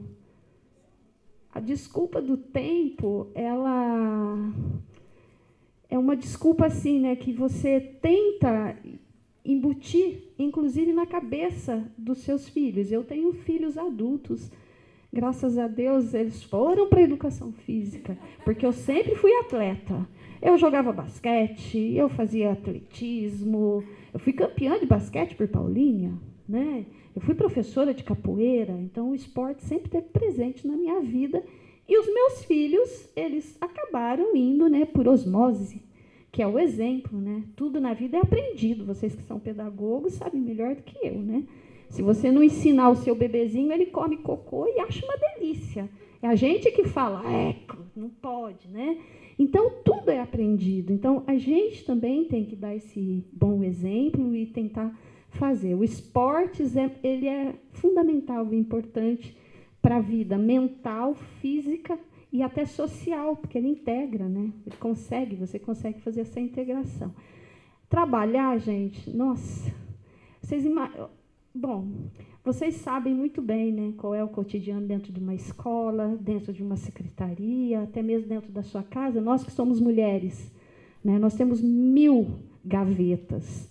Tem uma inveja dos homens que ficaram aí na casa das dez, né? Fazer o quê? A gente tem, né? Porque a gente tem que gestar, cuidar, educar, trabalhar fora, limpar a casa, fazer tudo. Com raríssimas exceções, a gente encontra né, muito homens fazendo isso e ajudando. Mas, infelizmente, a sociedade, ela nos educou assim. A mulher é, é a serviçal. Eu gosto muito, às vezes, a gente está discutindo, né? E, e às vezes eu fuço em algumas coisas do YouTube e eu acho umas coisas muito engraçadas. Ontem eu fucei lá no YouTube e vi uma senhora que ela estava com a pia cheia de louça, cheinha de louça. Ela abriu a torneira, começou a lavar, aí passou o homem. Aí ela começou a jogar panela, sabão, bucha, tudo para um lado e saiu gritando. Eu estou cansada de ser a serviçal. Você está aí assistindo televisão, aí abriu a outra. A porta da infeliz ainda está trancada, que é a filha que estava descansando. E a mãe, que somos nós, né, ali, tendo que dar conta do recado. Então, às vezes a gente reclama muito que não tem tempo, às vezes a gente fica muito pautado no si. Mas será que a gente não tem tempo mesmo? Ou a gente está utilizando esse tempo de forma errada? Ou está culpando o outro porque a gente está doente? Porque existe isso também, né? Isso tem a, a delegação da culpa. Só que o responsável pela sua saúde é você mesmo. Não tem outro responsável. Se você não respeita a si, como que você vai poder respeitar o externo? Então, acho que merece um pouquinho esse olhar, sim, como a Teó falou, a gente precisa ter esse tempo do brincar. Eu também adoro aqueles peixinhos, adoro banco imobiliário. Olha que delícia jogar o banco imobiliário, é maravilhoso, né? Ficar jogando cartas. E as mulheres, às vezes, ah, eu não tenho vocação para esportes. Gente, faz uma higiene mental, chama a amiga, vai para casa, toma um vinho, conversa, esquece o serviço, né? É, toma um vinho, uma cerveja, um chopp, né? Vai passear, vai andar no shopping, vai olhar vitrine, vai fazer um relaxamento mental, né? Cuidar dos bichinhos. Então a gente, a gente tem tempo sim. É só basta a gente querer e gostar mais de si. Porque a gente precisa gostar da gente, né? É como eu disse aqui, a Mari disse e outros, tem muito tipo de deficiências e doenças oportunistas. E a maioria delas, das doenças oportunistas, elas se alojam porque a gente deixa, né? Porque a gente vive no, no resmungo, na reclamação de que, ó oh, Deus, ó oh, céu, porque só comigo, porque só eu, porque eu não consigo fazer isso, porque eu não, porque eu não. A palavra tem poder. A palavra tem poder. Então, cuidado com os nãos que você diz a si mesmo. Porque o não, né, sempre tem um anjo ouvindo, e esse anjo nem sempre é do bem. E esse não acaba ficando tão intrínseco em você que você destrói a si mesmo. Então, a gente precisa parar, refletir e, e cuidar mais de si, né? E cuidar do outro.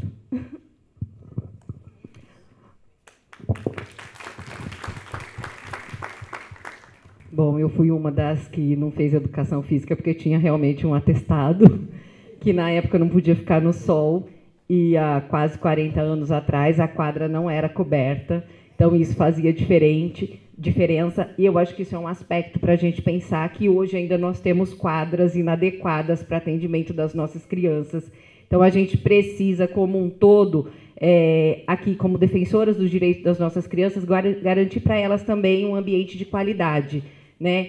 Que as nossas escolas tenham espaço livre para essas crianças correrem, que as nossas escolas tenham parques adequados para a faixa etária. Então, assim, é, nessa discussão, eu acho que alguns pontos a gente pode colocar nesse sentido, né, de que enquanto a gente, do lugar onde a gente ocupa hoje, como é que a gente pode lutar para que essas coisas realmente venham à tona e que elas passam a acontecer é, efetivamente para as nossas crianças, para que elas não tenham esse aspecto lá na frente. Eu até hoje não encontrei tempo para fazer atividade física, é uma falha. O tempo que eu tenho, eu amo o ócio, no silêncio, sem nada. Se eu fico em casa sozinha num dia de folga, que é como eu e o meu marido trabalhamos em cidade diferente, então o dia 28 de fevereiro, para mim, é o dia da realização. É o dia que eu estou em casa sozinha, né? Me pergunta, o que você faz no dia que seu marido não está em casa? A primeira coisa é risoto de camarão, porque ele tem alergia e eu não posso fazer nada de camarão em casa, porque ele até com o cheiro passa mal.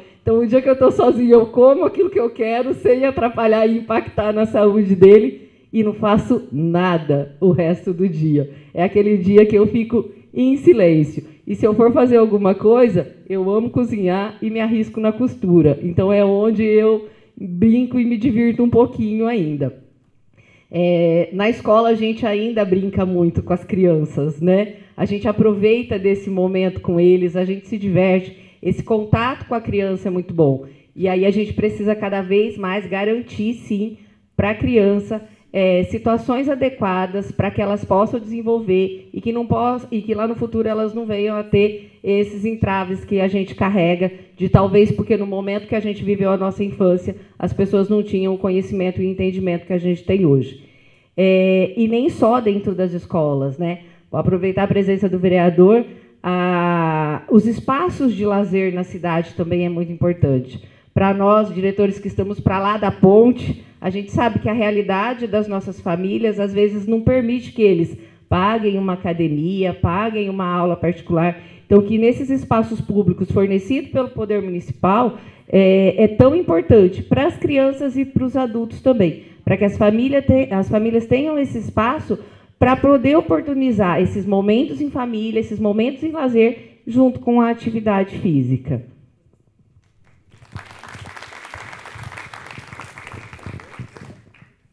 Gente, eu acho que eu faço parte do time que não foi para educação física também.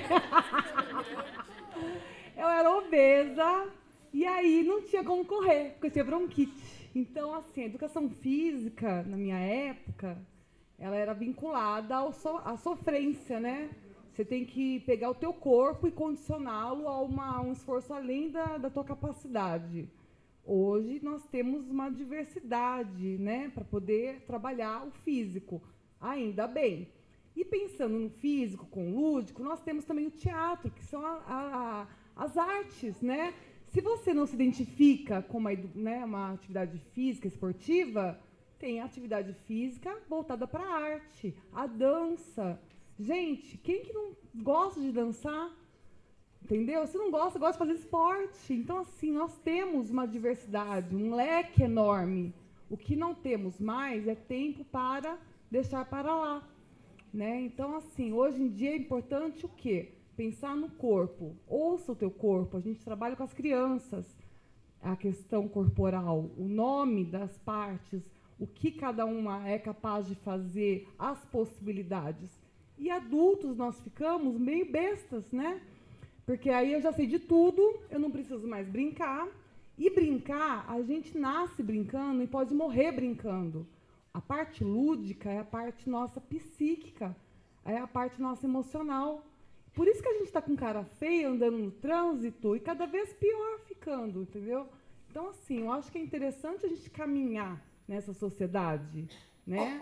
E pensar na questão do consciente emocional, não mais o consciente intelectual, né? Pode associar um ao outro, não tem problema, mas a questão maior é vamos adequar nossas vidas, assim como a gente pode adequar a nossa escola, adequar a questão da atividade física, Mas o que não dá mais é protelar, deixar para lá, não abrir espaço na agenda. A rotina nossa, sempre é possível abrir uma horinha, né? Eu não preciso fazer de segunda a sexta, posso fazer terça, quarta, quinta, mas é preciso fazer, é preciso ouvir. E o cotidiano engole a gente, né? O cotidiano engole a gente. Então, parar e respirar. Parar e meditar, né? Nós temos aqui a do 20, 28 de fevereiro, gosto de ficar sozinha. O yoga, gente, yoga hoje em dia é uma atividade também muito interessante e na escola a gente tem posto até né, a atividade de, respirar com as crianças. A gente fala muito assim, agora está todo mundo agitado vindo do parque. Vamos respirar grandão, fica gigante. E solta o ar, fica uma formiguinha. É a parte lúdica, é a parte da respiração e, gente, modulação do, da emoção. Né? É isso.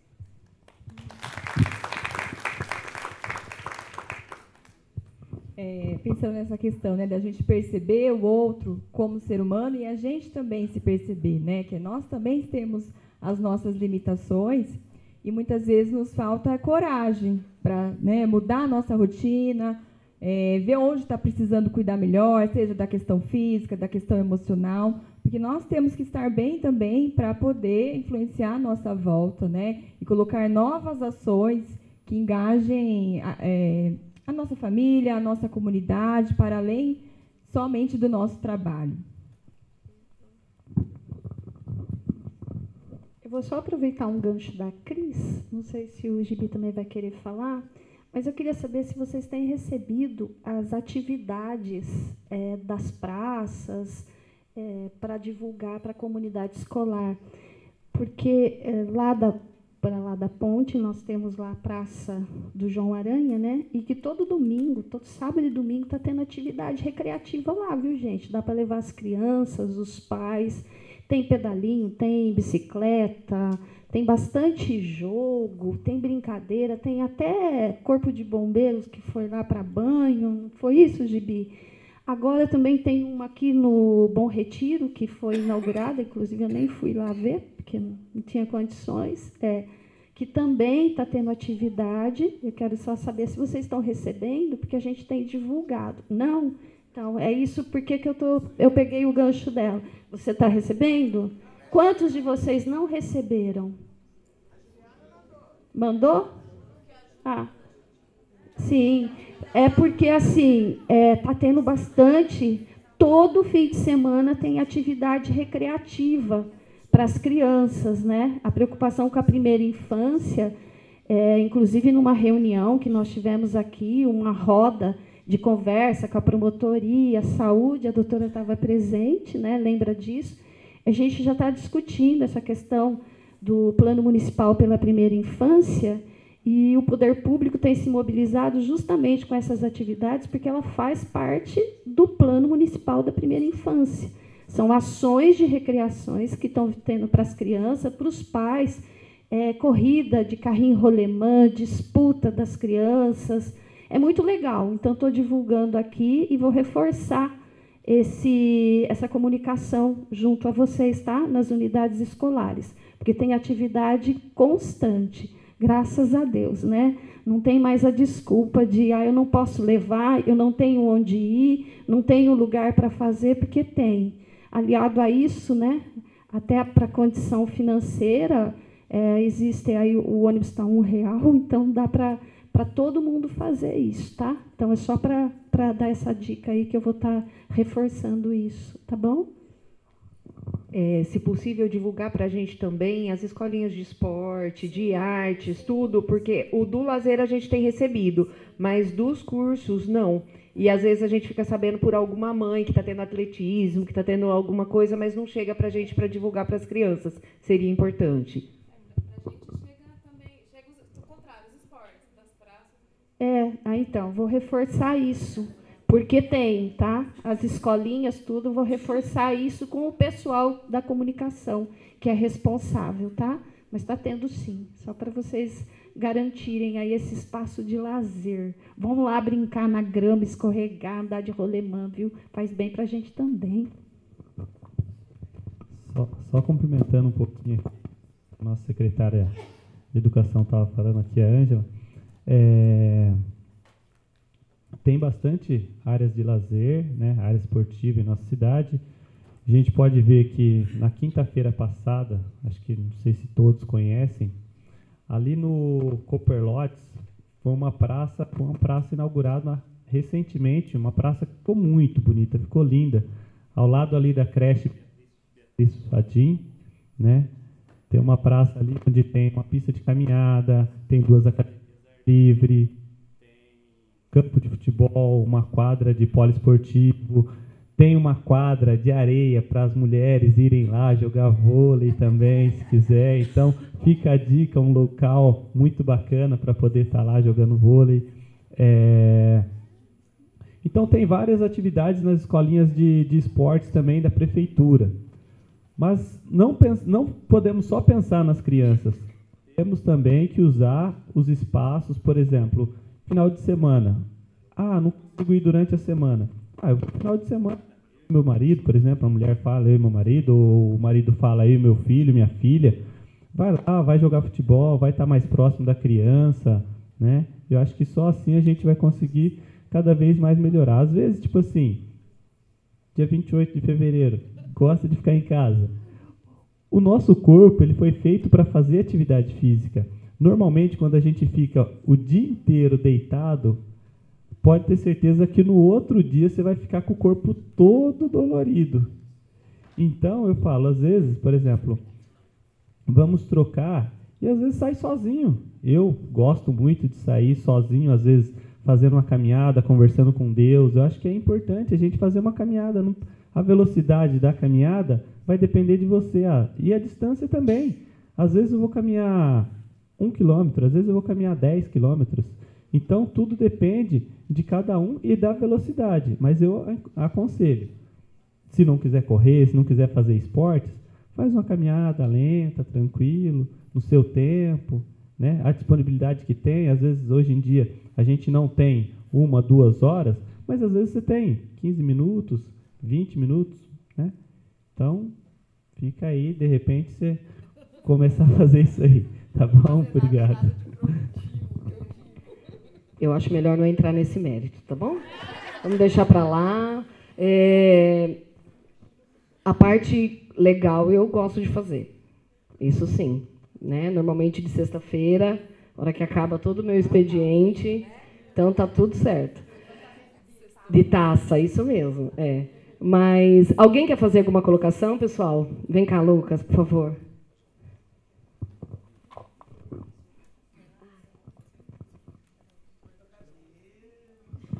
Bom dia. Bem, é, gente, é, correndo, para não correr o risco de eu não dormir à noite, eu só vou falar uma coisinha assim. Como professor de educação física e do educação física escolar, eu preciso fazer algumas pontuações, tá? Primeiro, a gente precisa tudo que eles falaram sobre atividade física, nós devemos, né? Os colegas me perdoem se eu falar alguma bobagem, nós devemos pensar como prática corporal. Tá? Por que, que eu faço questão de falar isso aqui? Porque nós estamos com vários diretores presentes, vocês vão ver esses termos nos currículos, e para nós que somos da área de humanas, que a educação física escolar é da área de humanas, a palavra é muito importante. Nós não podemos falar uma coisa que não é. Tá? Atividade física é diferente de prática corporal, que é diferente do exercício e que é diferente de, da, do entendimento de se movimentar. Tá bom? A culpa do teu professor não dividir direito os grupos não é dele. É de uma formação de educação física de uma época que eram três anos de curso de educação física, e para entrar, para fazer o curso de educação física, precisava fazer uma prova prática. Então, era de uma época que a educação física não era para todos. Tá? Então, hoje, o entendimento de educação física escolar é que ela é para todos. Todos, cada um com seu corpo. Eles têm que se movimentar, por isso que é prática corporal. Atividade física, para que fique mais simples, todos aqui fazem sempre que o seu coraçãozinho bate um pouquinho mais forte. E isso pode ser só para a pessoa levantar da cadeira ou se a pessoa começar a correr. Vai depender da, do como está o condicionamento dela. Prática corporal, não. Prática corporal tem a ver com significado. Tá? É o que cada um gosta. Quem ainda não descobriu qual prática corporal é, tem significado para si, é só uma questão de descobrir. Tá? A, o papel da educação física escolar hoje é dar essa experimentação para as crianças, o máximo possível para que elas um dia descubram qual prática corporal elas gostam e nunca mais parem. Tá? É, eu sou a prova de que o esporte não salva tudo. Eu fui atleta até os meus 17 anos, depois passei 5, 6 anos nunca mais querendo olhar para uma piscina. E eu fui professor de natação durante mais 5 anos, até os 22, 23, e não gostava de piscina. Era o meu trabalho. Tá? Aí depois que eu já tinha perdido a minha forma física, eu passei mais 10 anos tentando voltar a nadar. Graças a Deus agora eu voltei. Tá? Mas eu precisei voltar primeiro para a musculação porque era o mais barato. Aí entra uma questão de currículo e entra uma questão do poder público proporcionar isso para as pessoas. Porque algumas práticas corporais são muito caras e nem todo mundo pode fazer. E aí, justo aquela prática corporal que a pessoa gosta de fazer, muito cara, ela não tem condição e não tem no poder público. Tá? Então, é isso. Só para eu poder dormir à noite. Bom dia. Obrigada, Lucas.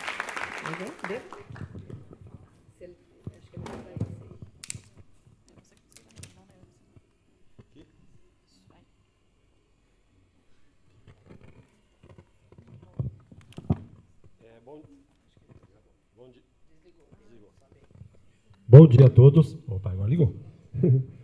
é, na verdade, assim, é, eu gostaria de fazer uma reflexão né, de tudo que nós ouvimos aqui.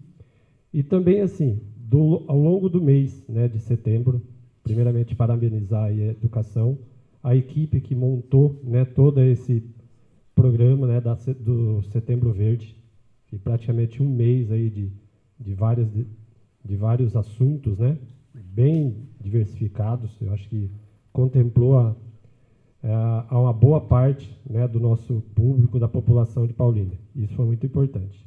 Mas a reflexão que eu quero deixar aqui, um pouco que eu vi nessa manhã, é realmente ligada à questão da inclusão da pessoa com deficiência. E aí é uma reflexão que eu deixo, depois se alguém quiser é, falar a respeito, não vai ser uma pergunta, né? Mas é uma reflexão que, assim, é, me incomoda um pouco nas minhas andanças aí por esse país e de ouvir é, de quase todos os lugares que ainda não há inclusão, porque a inclusão está é, tá meia boca, que a inclusão é feita por algumas pessoas, por alguns espaços, por algumas, a, alguns municípios, né? E como eu não sou muito bom de datas, né, de, de, vamos dizer assim, de quando foi a lei que, né, que implantou a, a, vamos dizer, esse projeto no país, mas está liberando quase 30 anos, gente, 30 anos quase que a gente fala sobre inclusão e a gente falar ainda que ela não existe, isso é, é, talvez seja um, é, assim uma sugestão né, que eu penso, que eu sempre falo para as pessoas.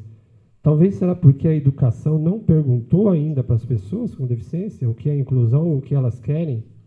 Talvez não chegou a hora da educação perguntar né, para as crianças, para os alunos, para os profissionais da área da, da inclusão com deficiência, o que realmente tem que ser inclusão, porque quando a gente procura a saúde, o médico pergunta né, para o paciente o que ele sente, o que ele deseja, o que ele quer. A assistência também né, pergunta lá para o seu usuário.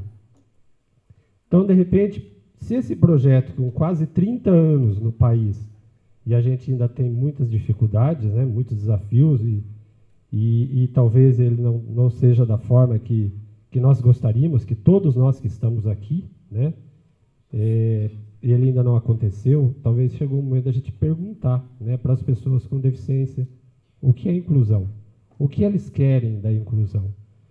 Porque às vezes a gente passa, né, o nosso país é um país assim que nós temos é, vários segmentos né, e várias é, opiniões de pessoas, principalmente quando a gente fala em políticas. E às vezes a gente tem medo né, que alguém apareça lá em cima e fale: olha, esse projeto não deu certo no país. Vamos acabar com ele. E eu não gostaria que nós voltássemos né, o que era antes da inclusão. Que por mais que ela tenha, tenha muito ainda o que, o que desenvolver, mas é o melhor local para a criança é a escola. Né? E um dia a gente ouvir que a escola não está preparada para receber todas as pessoas, todas as crianças né, que tenha é, diferenças, né, com todas as suas diferenças, com todas as suas peculiaridades, falar que a escola não está preparada e tirar para voltar para, vamos dizer assim, para centros educacionais específicos, não seria a nossa saída, seria um retrocesso. Então, eu acho que, de repente, chegou a hora de a gente começar a perguntar, né? Para todas as pessoas que frequentam a escola, crianças, adolescentes e adultos, né? Porque a escola é para todos, dependente da, da idade, seja fundamental, médio, eh, até o nível superior, porque em todas elas a inclusão realmente tem muita falha, e talvez essas falhas é porque a educação não está perguntando. Porque se ela perguntar, de repente, né, ela vai descobrir, olha, só faltava isso. Porque a inclusão não é simplesmente a gente pensar na acessibilidade. Acessibilidade arquitetônica, com pisos, com rampas, com elevadores, né? Que às vezes eu chego nas escolas ou em qualquer lugar, a turma fala, olha, vamos ter um elevador, tipo assim, só deficiente visual não pode subir escada. Pode subir escada que a deficiência não é na, nas pernas, né? Então, assim, às vezes a gente está preocupado só, só com essa questão, mas nós temos que pensar no currículo, para que as pessoas com deficiência elas sejam é, realmente colocadas dentro dessa inclusão e que elas possam ter é, ser desenvolvidas e depois elas possam participar, como né, eu aqui hoje com deficiência visual, é, se eu quero trabalhar, eu tenho que prestar concursos públicos, eu tive que fazer um vestibular, eu tive que passar por essas etapas. E eu, tive, e eu passei por essas etapas por quê? Porque assim, eu tive sorte de ter uma educação que me deu essas condições.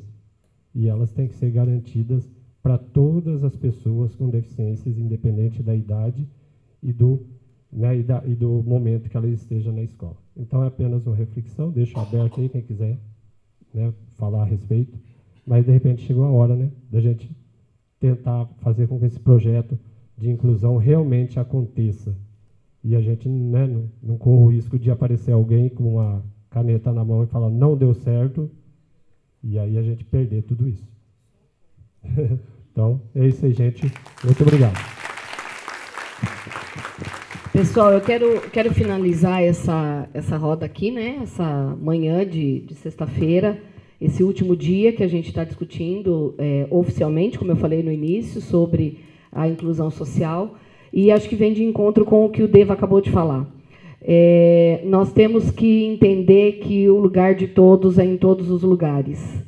Ninguém aqui está para questionar se aquela criança deveria estar tá na escola ou não, porque a gente escuta isso. A gente escuta isso de médicos, né, Cris? A gente escuta isso, às vezes, é, de pessoas que não conhecem o contexto da escola. É, nós não estamos aqui para questionar se eles devem estar numa sala especial né, ou numa sala regular, porque a gente escuta isso também de colegas do legislativo pedindo para que a gente crie salas especiais. Então a gente tem que rebater isso mas nós estamos aqui para que juntos, cada um com o seu conhecimento, com as suas habilidades, com a sua potencialidade e, acima de tudo, com a sua humanização, permita que todos estejam em todos os espaços.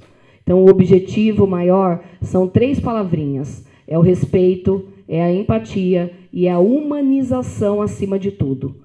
Porque nós que estamos aqui, todos nós, todos, nós escolhemos o que nós estamos fazendo. Nós escolhemos trabalhar com a educação, com a saúde, com o esporte, com a, né, a legislação, com, a, com o direito, com a engenharia. Nós escolhemos. A pessoa com deficiência ela não escolhe ter uma deficiência.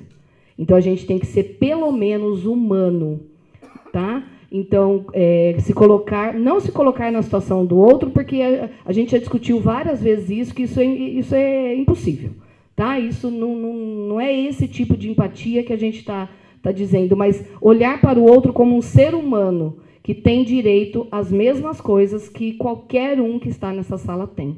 Então, eu fecho o nosso Setembro Verde pedindo, sim, a reflexão diária de cada um de nós sobre estas questões. Muito obrigada a todos que estiveram aqui, tanto na roda quanto na plateia. E, as nossas portas estão abertas para que a gente possa cada vez mais pensar e refletir ações para melhorar o processo de inclusão. Falo do, do ponto de vista da educação, mas também dialogando com outras áreas, é, para que a gente possa realmente ter um mundo, Mari, para todos. Então, muito obrigada a todos, uma ótima sexta-feira e que a nossa luta realmente não fique só no mês de setembro verde, mas durante todos os dias do nosso ano.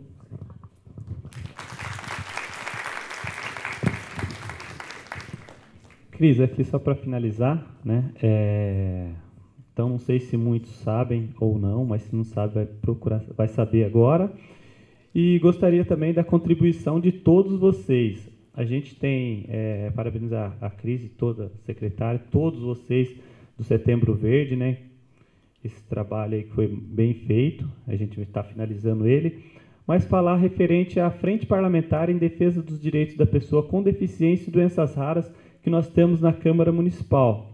Então, gostaria muito da contribuição de todos vocês. Às vezes, vocês estão aí sentadinhos, mas tem alguma sugestão, alguma opinião, alguma coisa que vocês queiram contribuir. Então, pode, pode me procurar depois, que a gente tem a Frente Parlamentar que ela todo mês a gente tem essa reunião. Normalmente é sempre a última, a última segunda-feira do mês, tá?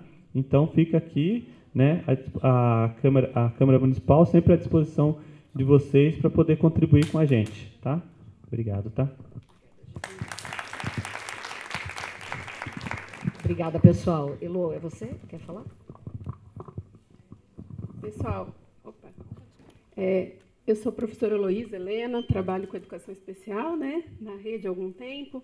E assim, eu quero só compartilhar uma coisa com vocês, porque como professora de AE, né, e professora bilíngue que atuo, Ui, desculpa, é, essa semana é, na, nos acontecimentos da, do Setembro Verde, não posso deixar, porque senão vou fazer igual você, vou, não vou dormir à noite trabalha no Maestro à noite na EJA, né? E, assim, como indicativo do nosso trabalho, do, eu sempre falo nas nossas reuniões que o grupo de educação especial de Paulínia é um grupo singular e faz diferença aonde passa, porque nós acreditamos, a gente acerta, a gente erra, a gente busca consertar. E o desafio da inclusão é esse, né? E essa semana, na terça-feira, né, José Paulo?